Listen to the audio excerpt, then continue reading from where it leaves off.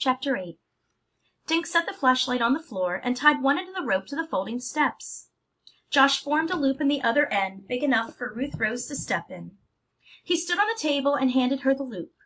Are you sure you want to do this? Dink asked. It'll be easy, Ruth Rose said.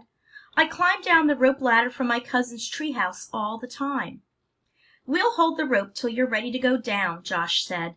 He added, Be careful of those teeth. Okay, give me a minute. Ruth Rose's face disappeared.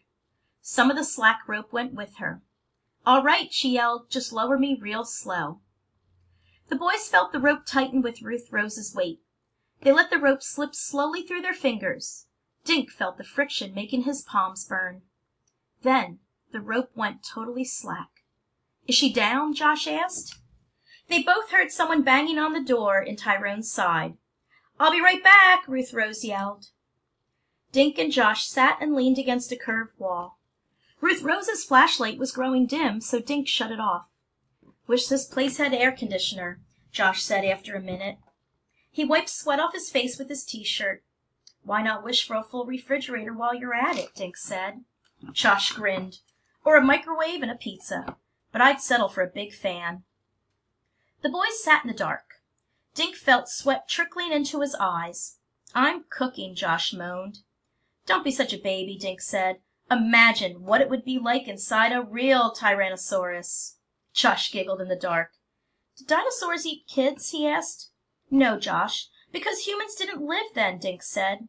Besides, if a T-Rex got one taste of you, he'd spit you out. Josh poked Dink in the ribs. Dink poked him back. Just as Josh put a wrestling hold around Dink's neck, they heard something thump outside. Josh gulped. Do you suppose it's Dean coming to get the money? Dink crawled to the door and put his ear against it. The door opened, and Dink nearly fell on top of Judd. Behind Judd stood Officer Fallon and Ruth Rose. You sure get yourself in some pickles, Officer Fallon said, shining his flashlight in Dink's eyes. Good thing I found Judd, Judd at the fireworks. Judd lowered the steps so Dink and Josh could climb down to the ground. Thanks, Josh said. We were melting in there. I don't suppose you found the money, Judd said. Ruth Rose told us what you were up to. Dink shook his head. Sorry, he said. I'm afraid that whoever took the duffel bag disappeared with it, Officer Fallon said. Judd nodded. It must have happened last night after we went to bed, he said. I just don't see how. Officer Fallon shined his light at the ground. It rained last night, so even if the crook left footprints, they'd have washed away. Footprints, Dink thought. I saw wet footprints in that garden shed, he said. Dink pointed through the darkness toward the rose garden. I went in to get Miss the wheelbarrow from Mr. Pocket.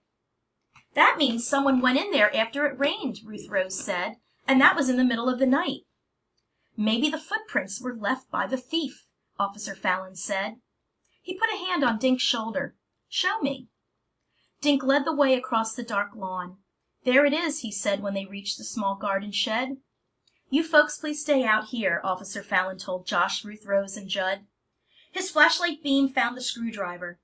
He removed it and opened the door. He played the light over the floor. Dried, muddy footprints led from the door to the back of the shed. Hold this for me, Officer Fallon said, handing his flashlight to Dink. Stand by the door so I have light. Officer Fallon stepped inside and kneeled to examine the footprints. Then he walked through the shed, checking inside, under, and behind anything large enough to hide a person. At the back of the shed he moved the wheelbarrow. He poked at the stack of burlap sacks with a toe. Then he peeled off several of the bags and set them on the floor. Dink saw him bend over and pull something from under the remaining bags. Judd, would you come in here? Officer Fallon yelled. Judd stuck his head inside the door. Is this what you've been looking for? Officer Fallon was holding a dark brown duffel bag. It was fat, as if stuffed with something. A long zipper ran along one side. Judd beamed. You found it, he said. Officer Fallon carried the bag out of the shed and set it on the ground. Under the flashlight beam, he pulled open the zipper.